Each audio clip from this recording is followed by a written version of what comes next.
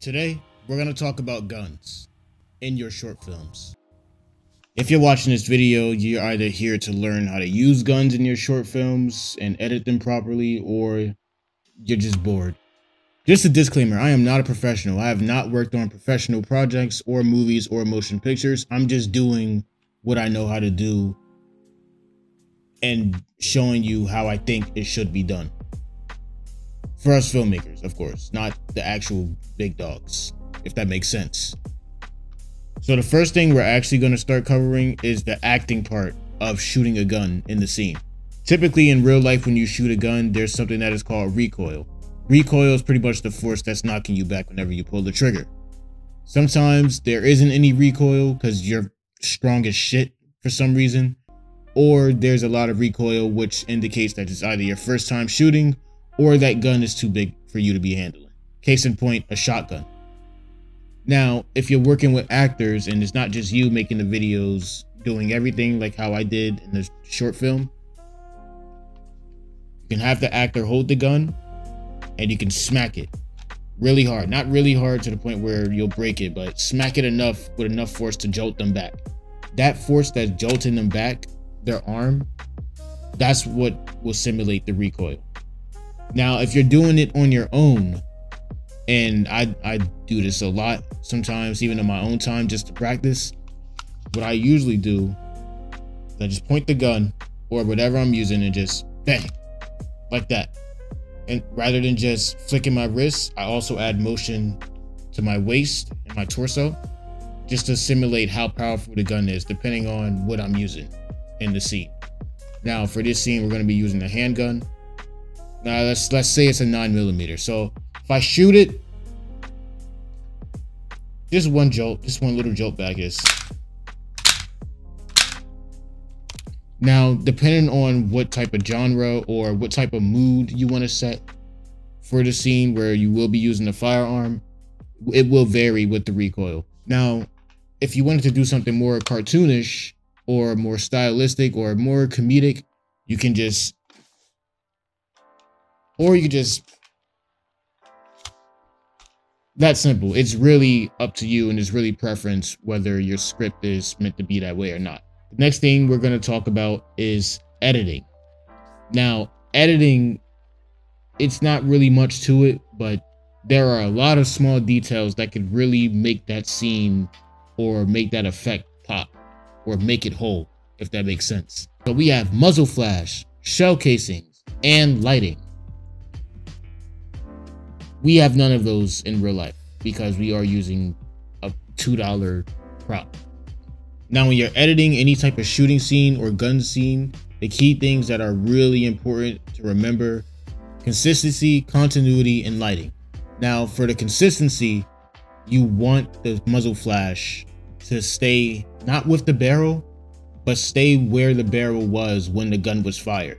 If you have the muzzle flash follow the barrel, it would just look something like this. You don't want that. It stays in one spot for one or two frames, and then the gun will jolt back. Continuity. If you are having a character shoot multiple times, you either can use the same muzzle flash or you can use a different one whether you change the camera angle. This is really important because say if I shot someone from this angle, but the camera was facing this way. That would make a big difference. You don't want to put a pistol muzzle flash with an assault rifle muzzle flash. Get what I'm saying? You get what I'm trying to go through? Another thing is lighting. This is like the more sophisticated part, but it's super easy to do. And that's what we're about to jump into right now. So let's hop into our editing software and then we'll get started. Why are you still looking at me? We're about to hop into the edit. You know what? Okay, so we're in our editing software and we have our clips in and we have our timeline. So now the first thing we're going to do is color grade this footage. So what we want to do when we're color grading, we're just going to make this original footage darker in order to have the actual muzzle flash show and look better on screen.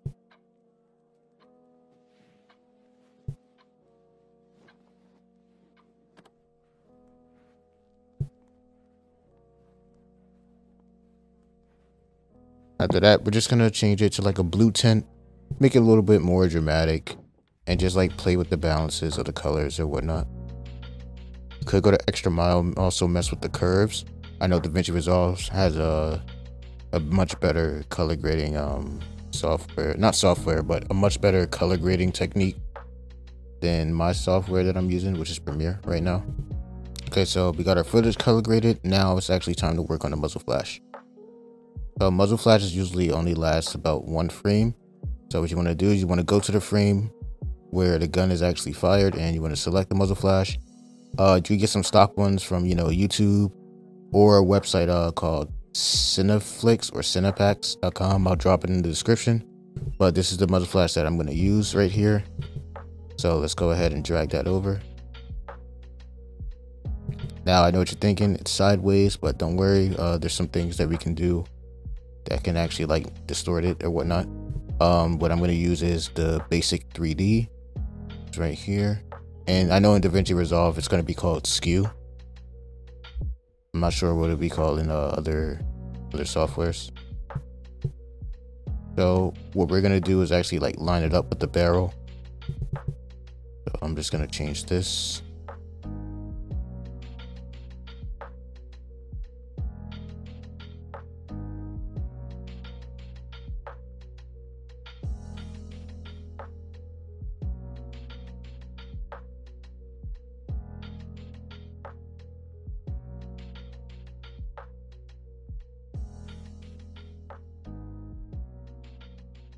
All right, so what you want to do after that, you want to change the blend mode to screen, or you could just change it to lighten. I like to use lighten depending on what this actual scene is, but lighten will actually work best in scenes that are color graded to be darker. And right here, we also have this little, like, I don't know if you guys can see it, but it's that little square looking thing. Uh, don't worry, we're going to handle that in a little bit. Now it's just time to clean it up. So we're gonna zoom in and we're gonna get rid of this whole little square area.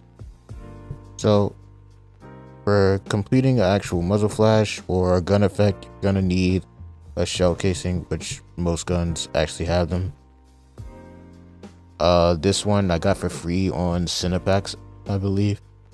I will also keep a link in the description, so keep that in mind.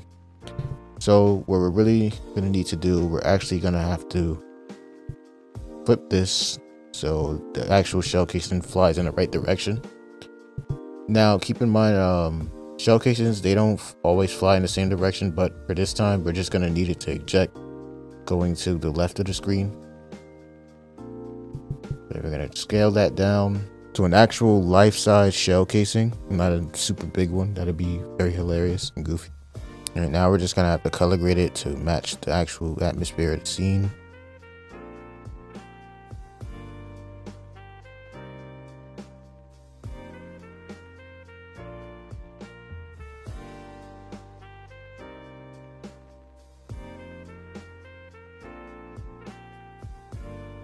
now we're just gonna duplicate that and then we're going to split it here for that one frame that the muzzle flash is on. Alright, so on the duplicated clip, we're to remove all the color grading and we're to drag a crop. And what we're to do is we're to create a mask. So for the mask, for a muzzle flash, you do like a little star pattern or just something really jagged so it's not too perfect. So here's what we're to do. We're just to draw a little star shaped mask.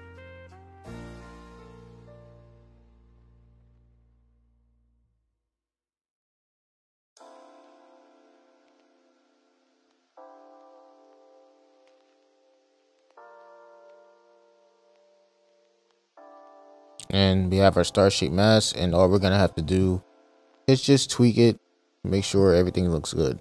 So what you want to do for the crop you just want to invert it. That way only the inside is going to show. So now we go back to our little color grading section and what we're going to do is going to bring up the exposure bring down the contrast and we're going to change the temperature to a more orange or yellowish tint to actually match the fire or muzzle flash that came out of the gun. Okay, so now we have our mask. So now what we're gonna do is we're gonna change the feather of it. That way it looks like some natural light. We're gonna play with the expansion so the light can actually react with the environment like how a real muzzle flash would.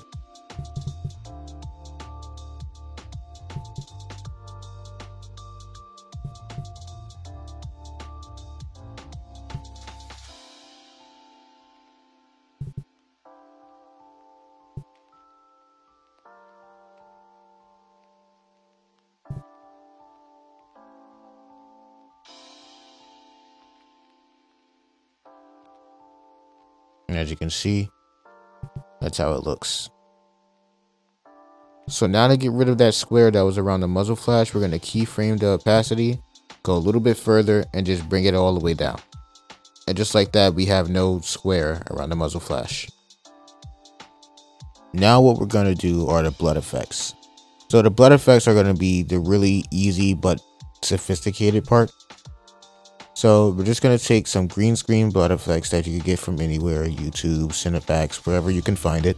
We're going to key out the green screen and just color grade that to match everything.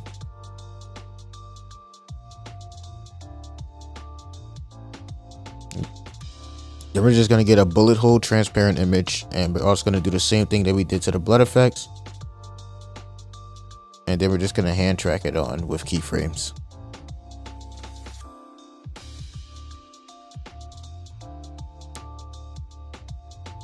After we hand track it on, you're just going to add some directional blur or motion blur, and you're going to keyframe that to move with your subject.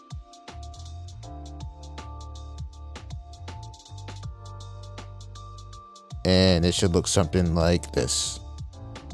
And that's how you do the simple blood effects. All right, that's it for this video.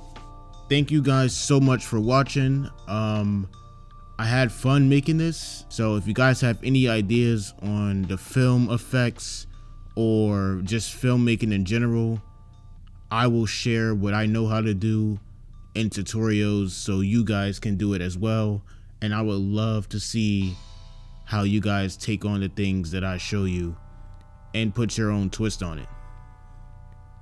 Um, my next tutorial, I have no idea what it would be because I have so many things that I know how to do, but I just don't know where to start.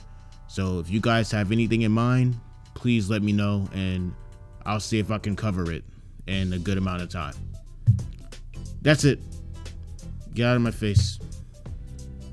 Bye.